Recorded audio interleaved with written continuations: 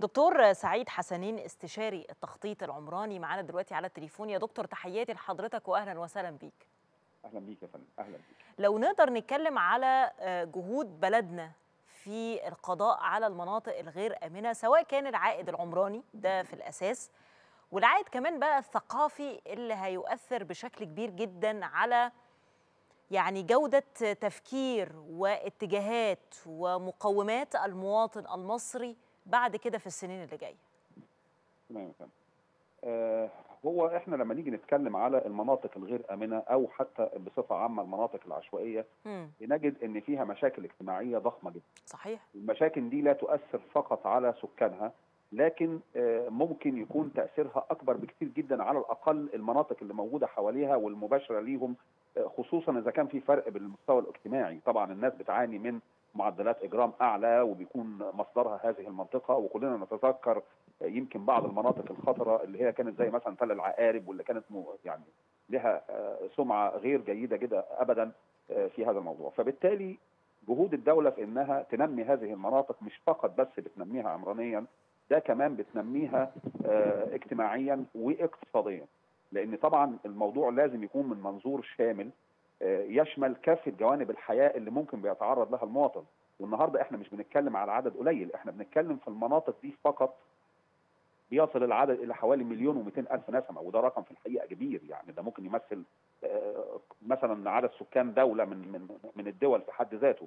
فبالتالي عشان نكون عندنا مشاكل مع المليون و200 ألف مواطن دول طبعا ده بيكون ليهم تأثير في دايرة أكبر ممكن توصل ل 10 مليون مواطن.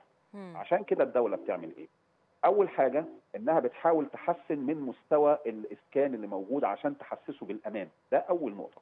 طبعا بيكون في كذا حل يمكن للدوله وكذا أدوات بتعتمد عليها زي وليكن على سبيل المثال اللي هو السكن البديل أو إن هو مثلا إيه آه انتقل ثم آه نبني ثم بعد ذلك تنتقل مرة أخرى وتعود إلى مكانك آه أو إنك أنت تاخد مثلا قيمة معينة من الأموال بحيث إنك أنت تروح وتاخد في مكان آخر. تسهيلات يعني طبعا مجتمعي. بالظبط كده. ففي حلول كثيره جدا بالنسبة للدوله نيجي بقى للجانب الاجتماعي اللي بيبقى موجود. أول حاجة مش فقط بس عملية تحسين الإسكان بيحسسه بالأمان لكن هو فقط كمان بيحس قد إيه إن ممكن يكون في اهتمام بيه شخصيا فبالتالي بيحس أكثر إن في ليه ولاء لهذا المكان. خاصه إن خلاص ما عادش حاسس بالخطر. أنت عارفة حضرتك إن المناطق الغير آمنة دي هي فيها بعض حاجات بتبقى خطر على الحياة. فلما إنسان يكون عايش في مكان وهو خطر الحياة أنت ممكن تستني منه إيه؟ لكن لما أنا أصلح له هذه الظروف. الحاجة الثانية كمان إن كنت ممكن تكون مهددة للصحة. بالتالي لما يكون في تهديد لصحة إنسان آه أنا ما انتظرش منه إنتاج بشكل كبير وبالعكس ده أنا ممكن كمان صحيح. يكون في البعد النفسي آه متأثر جدا. عليه ويأثر والسلوك العدواني كمان يعني العنف والعدوانية هتلاقيها منتشرة كتير جدا في المجتمع. هناك. وبالتالي مم. كمان في عندنا نقطة كمان بعد أكثر شوية إن أغلب هذه الأماكن بتكون في مناطق يا إما مركزية يا إما مناطق لها قيمة. وفي الحالة دي هو لابد من استفادة الدولة في إن إحنا نحاول قدر الإمكان نعمل بعض وفورات مادية من هذه الأماكن كويس؟ بحيث إن إحنا نساعد أماكن أخرى نحاول نعوضها ونحاول إن إحنا نبني ليها مساكن ونحاول إن إحنا نحسن من مستواها. زائد إن بالنسبة للقاهرة التحسين العمراني مش فقط هو المطلوب ده كمان في حاجة اسمها عدم فقدان الهوية العمرانية لهذه المناطق اللي هي فضلت فترة كبيرة جدا تقريبا بتأثر سلبيا على عمران المناطق وحتى كمان كان في بعض الناس ممكن يجوا آه الأماكن الأثرية اللي موجودة عندنا لكن لما بيلاقوا مثلا حاجة زي تل العقارب اللي هي طبعا اتعدلت دلوقتي بقت روضه السيدة زينب ولا بيلاقوا بعض أماكن أخرى في القاهرة التاريخية ويلاقوا جنبها هذه المناطق الغير جيدة فبالتالي هو بيهرب كفائح من هذه المناطق وبيخاف على نفسه وبيخاف من معدلات الإجرام والعنف المضاد ليه في هذه الأماكن. لأن الاماكن الأماكن دي بالذات بتبقى ليها بعد اجتماعي إن هو الناس دي بتخاف أي حد غريب يخشها. بالتالي المناطق السياحية بتقل قيمتها وبيقل عدد الزوار وبيقل الجذب بتاعتها.